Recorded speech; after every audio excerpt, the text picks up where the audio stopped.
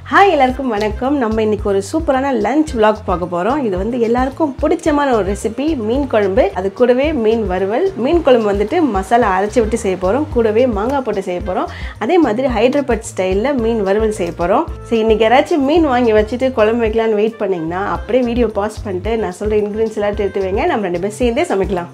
So நான் வந்துட்டு இன்றைக்கி சங்கரா மீன் வாங்கியிருக்கேன். ஒன் கேஜி வாங்கியிருக்கேன். அதில் பாதி வந்து குழம்புக்கு பாதி வந்து வறுக்க போகிறேன் ஸோ குழம்புக்கான மசாலா ரெடி பண்ணுறதுக்கு ஒரு இருபது சின்ன வெங்காயம் முறிச்சு வச்சுருக்கேன். கூடவே ரெண்டு கொஞ்சம் சின்ன சைஸ் தக்காளி ஒரு பத்து பல் பூண்டு. இது கூட வந்துட்டு நம்ம மிளகாய் பொடி தனியா பொடி மஞ்சள் பொடி மட்டும் ஆட் பண்ணி வதக்குவோம். தனி மிளகாய் பொடியாக இருந்துச்சுன்னா ஒரு ரெண்டு டேபிள் ஸ்பூன் போட்டுக்கோங்க. குழம்பு பொடியாக இருந்துச்சுன்னா மூணு டேபிள் ஸ்பூன் அதே போட்டுக்கோங்க. அது கூட தனியாலாம் வேண்டாம்.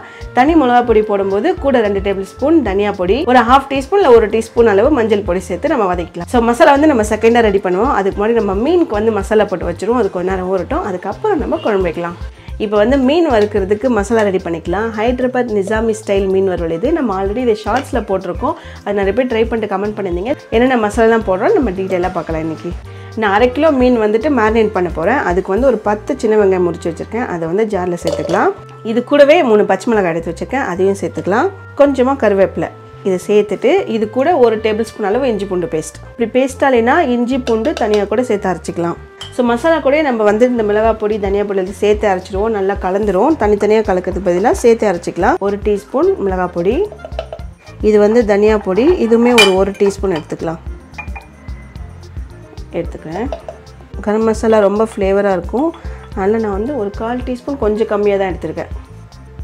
இது கூட ஒரு ஹாஃப் டீஸ்பூன் அளவு பெப்பர் சேர்த்துக்கிறேன் கொஞ்சம் காரத்துக்கு. ஸோ இந்த மிளகாய் பொடி காரம் இதெல்லாம் கொஞ்சம் பத்தலைனா நம்ம அரைச்சிட்டு அதுக்கப்புறம் பத்தலைனா கொஞ்சம் எக்ஸ்ட்ரா சேர்த்துட்டு மிக்ஸ் பண்ணிக்கோங்க. மீன் கூட இது கூட அரைக்கிற அளவு கொஞ்சமாக தண்ணி சேர்த்துக்கிறேன். இது போதும். இப்போ நான் இதை மட்டும் அரைச்சிட்டு வந்துடுறேன். கொஞ்சம் இப்படி குறை குறைந்தான் இருக்கும். அப்போ தான் மேரினேட் பண்ணும்போது அந்த மசாலாலாம் சாப்பிட நல்லாயிருக்கும் நல்லா சூப்பராக ரெடி ஆயிடுச்சு. இது கூட வந்து உப்பு சேர்த்து மிக்ஸ் பண்ணிக்கோங்க. நான் உப்பு போடல அரைக்கும் போது மசாலா நம்ம ஒரு மேரினேட் பண்ணுற அளவுக்கு ஒரு பெரிய பாத்திரத்தில் எடுத்து மசாலா கொட்டிக்கலாம். மசாலா கூட வந்து அரிசி மாவு கார்ன்ஃப்ளவர் மைதா. இது எல்லாமே ஒரு ஒரு டேபிள் ஸ்பூன் அளவு நம்ம சேர்த்துக்கலாம். நல்லா கிறிஸ்பியாக இருக்கும் மீன் அப்போ தான் கார்ன்ஃப்ளவர் ஒரு டேபிள் ஸ்பூன் சேர்த்துக்கிறேன். அதே அளவுக்கு மைதா சேர்த்துக்கிறேன் ஒரு டேபிள் ஸ்பூன் அதே அளவுக்கு அரிசி மாவு. இது கூட தேவையான அளவு உப்பு. ஸோ வந்து மசாலா எல்லாத்தையும் நம்ம ரெடி பண்ணியாச்சு. மைதா மாவு அரிசி மாவு கார்ன்ஃப்ளவர் உப்பு எல்லாத்தையும் மசாலா கூட சேர்த்து நல்லா மிக்ஸ் பண்ணிக்கலாம். ஸோ இந்த ஸ்டேஜில் வந்து டேஸ்ட் பண்ணி பாருங்கள் உப்பு காரம் கொஞ்சம் பத்தலைன்னா நீங்கள் எக்ஸ்ட்ரா சேர்த்துட்டு மிக்ஸ் பண்ணிக்கலாம். இதுக்கப்புறம் நம்ம இதில் மீன் போட்டு மேரினேட் பண்ணிக்கலாம். ஒரு அரை கிலோ அளவு மீன் இருக்கும் இது. இல்லை பத்து பதினோரு மீன் இருக்கும். இந்த மாதிரி கட் பண்ணி சேர்த்திங்கன்னா நல்லா மசாலா சூப்பராக உள்ளே இறங்கி டேஸ்ட்டாக இருக்கும். இது வந்து கொஞ்சம் சின்ன சின்ன மீன் தான். பெரிய மீன் இருந்துச்சுன்னா நீங்கள் நல்லாவே மேனேஜ் பண்ணலாம். இது அப்படியே மசாலா கூட சேர்த்து நல்லா கலந்து வச்சுருங்க. மீன் வந்து மேரினேட் பண்ணிட்டு ஒரு பத்தில் கால் மணி நேரம் ஃப்ரிட்ஜில் வச்சிடலாம். இப்போ நம்ம மசாலா ரெடி பண்ணலாம் மீன் குழம்புக்கு. நான் சொன்ன மெஷர்மெண்ட்லாம் ரெடி எடுத்து வச்சுட்டிங்களே மீன் குழம்பு கற்றுக்கணும் மீன் குழம்பு தெரியணும் அப்படிங்கிற பிகினர்ஸ் கூட ரொம்ப ரொம்ப யூஸ்ஃபுல்லாக இருக்கும். ஸோ இது வந்துட்டு ரொம்பவே ஈஸியான ஒரு மெத்தட் தான். எப்படி செய்யுதுன்னு பார்க்கலாம். வாங்க. மசாலா ரெடி பண்ணுறதுக்கு கொஞ்சமாக எண்ணெய் சேர்த்துக்கிறேன். ஒரு சின்ன சட்டியில். எண்ணெய் சூடானதும் நம்ம கட் பண்ணி வச்சிருந்த வெங்காயமும் பூண்டும் சேர்த்து எண்ணெயில் சேர்த்துக்கலாம். ஃபஸ்ட்டு இது ரெண்டு மட்டும் வதக்கிக்கோங்க. இது லைட்டாக வதங்கினதும் இதுக்கப்புறம் நம்ம தக்காளி சேர்த்து வதக்கிக்கலாம். இப்போ பாருங்கள் லைட்டாக கலர் மாதிரி இருக்குது இந்த அளவுக்கு வதங்கினதும் இப்போ நம்ம இதில் தக்காளி சேர்த்துக்க போகிறோம் இந்த மாதிரி கொஞ்சம் பழுத்த தக்காளி சேர்த்திங்கன்னா குழம்புக்கும் டேஸ்ட்டாக இருக்கும். தக்காளி நல்லா மேஷ் ஆகிற வரைக்கும் வதங்கணும். அதுக்கு தான் கொஞ்சம் பழுத்த தக்காளியாக சேர்த்திங்கன்னா சீக்கிரம் மேஷ் ஆகிடும் தக்காளி நல்லாவே மேஷ் ஆகிடுச்சு இந்த அளவுக்கு ஆனதும் இப்போ நம்ம இதில் மிளகா பொடி தனியா பொடிலாம் சேர்த்துக்கலாம். மீடியம் ஃப்ளேம்லேயே வச்சுட்டு ஒரு டேபிள் ஸ்பூன் அளவு தனி மிளகா பொடி சேர்த்துக்கிறேன் காரத்துக்கு. ஒரு ஒன்றரை டேபிள் ஸ்பூன் அளவு தனியாக சேர்த்துக்கிறேன். ஒரு ஹாஃப் டீஸ்பூன் மஞ்சள் பொடி. இது வந்துட்டு கொஞ்சம் தீஞ்சிட போது மீடியம் ஃப்ளேம்லேயே வச்சுட்டு லைட்டாக அந்த பச்சை வாசனை போகிற வரைக்கும் வதக்கி எடுத்துக்கோங்க. நான் ஆஃப் பண்ணிட்டேன். மசாலாவும் நல்லாவே வதங்கிடுச்சு. இது ஆறுனதுக்கப்புறம் நம்ம இந்த மசாலாவை அரைச்சிட்டு அதுக்கப்புறம் குழம்பு வைக்க ரெடி பண்ணலாம். மசாலா நல்லா ஆறிடுச்சு. நான் எடுத்து ஜாரில் போட்டுட்டு கொஞ்சம் தண்ணியை ஊற்றிட்டேன் அரைக்கிறதுக்கு இந்த மசாலா ரெடி பண்ணிக்கிறேன். இப்போ ஃபஸ்ட்டு இதை அரைச்சி எடுத்துகிட்டு வந்துடுறேன். மசாலா வந்து நல்லா நைஸாக அரைச்சாச்சு. நான் வந்துட்டு மிளகாய் பொடி தனியாக தனியா பொடி தனியான்னு போட்டு அரைச்சிருக்கேன். ஸோ நீங்கள் வந்துட்டு குழம்பு பொடியாக வச்சுருந்தீங்கன்னா மூணு டேபிள் ஸ்பூன் போட்டுக்கோங்க. ஆஃப் கேஜி மீனுக்கு அது கரெக்டாக இருக்கும். மசாலா அரைச்சி முடிச்சாச்சு. இப்போ வந்து குழம்புக்கு ஆரம்பிச்சிடலாம். நான் வந்து சட்டியில் வந்து முன்னாடி நல்லா நான் ஊற்றிட்டேன் புளி மட்டும் நான் கரைக்கல. எல்லாம் வதக்கும் போது கரைச்சிக்கலாம். இப்போ டக்கு டக்குன்னு செஞ்சு முடிச்சிடலாம். எப்படி செய்யுதுன்னு பார்க்கலாம். இப்போ எண்ணெய் சூடாயிடுச்சு. இதில் வந்து கொஞ்சமாக வெந்தயம் சேர்த்துக்கலாம். கொஞ்சமாக கடுகு கூடவே கொஞ்சமாக கருவேப்பிலை சேர்த்துக்கிறேன்.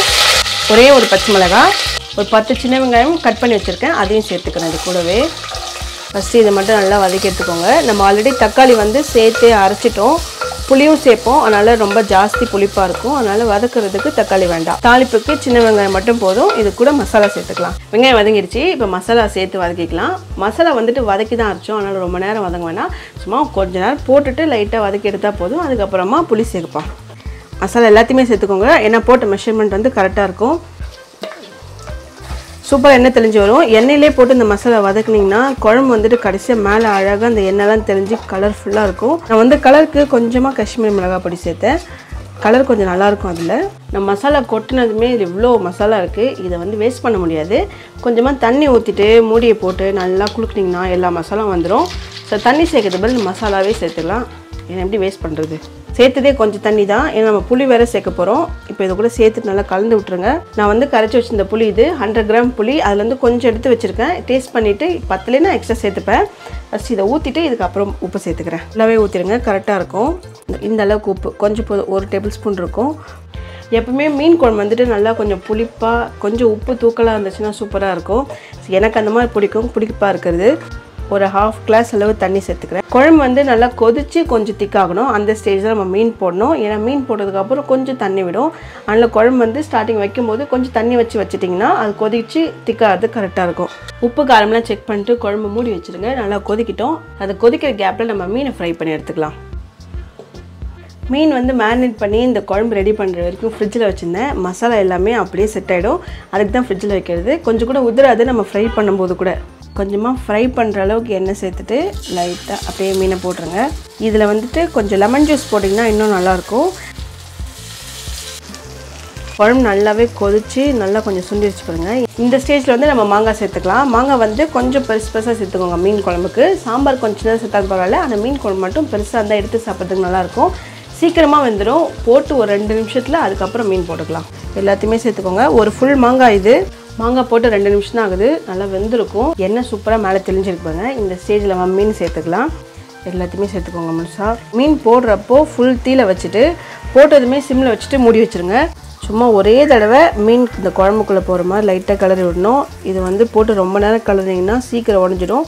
இந்த ஆவிலே மீன் வெந்துடும் சொல்லுவாங்க. ஆனால் லைட்டாக ஒரு மிக்ஸ் கொடுத்துட்டு ஒரு ரெண்டு நிமிஷம் மூடி வச்சிடலாம். இந்த குழம்பு சூடுலே மீன் வெந்துடும் போட்டு ஒரு ரெண்டு நிமிஷம் ஆஃப் பண்ணுறேங்க நான் ஆஃப் பண்ணிட்டேன். கடைசியாக கொஞ்சமாக கொத்தமல்லி தூவிட்டு கொஞ்ச நேரம் மூடி போட்டு வச்சிடலாம். ஒரு சைடு வந்து நல்லா ரோஸ்ட் ஆகிடுச்சுன்னு நினைக்கிறேன். நான் திருப்பி போடுறேன். மீன் வந்து அப்படியே அழுங்காமல் திருப்பி போட்டுருங்க. உடைஞ்சிட போகுது. மசாலா நல்லா ரோஸ்ட் ஆகிடுச்சினாலே அது ஃபஸ்ட்டு உடையாது. அப்படியே பக்கத்து அடுப்பில் நம்ம நிசாமி மீன் வறுவலும் நல்லா மொறு மொறுன்னு ரெடி ஆயிடுச்சு. சூப்பராக நல்லா கிறிஸ்பியாக இருக்குது மீன் குழம்பும் மீன் வறுவலும் இப்போ நல்லா பிசைஞ்சு டேஸ்ட்டாக சாப்பிட போகிறோம் மீன் வந்துட்டு ஃப்ரை பண்ணுறக்கும் போது சுட சுட சாப்பிட்றது எனக்கு ரொம்ப பிடிக்கும். நல்லா கம கமன் வாசனையோட அரைச்சி விட்ட மீன் குழம்பு ரெடி கூடவே தயிரும் ரெடி இல்லை மொறு மொறுன்னு நிசாமி ஸ்டைலில் மீன் வறுவலும் ரெடி கூடவே வேப்பம்பூ ரசமும் ரெடி சாதமும் ரெடி நல்லா சுட சுட மீனோட எடுத்து குழம்பு ஊற்றி அப்படியே பசி சாப்பிட்டிங்கன்னா மீன் வறுவல் கொஞ்சம் வச்சுட்டு அதுக்கு மேலேயே குழம்பு மீன் வச்சு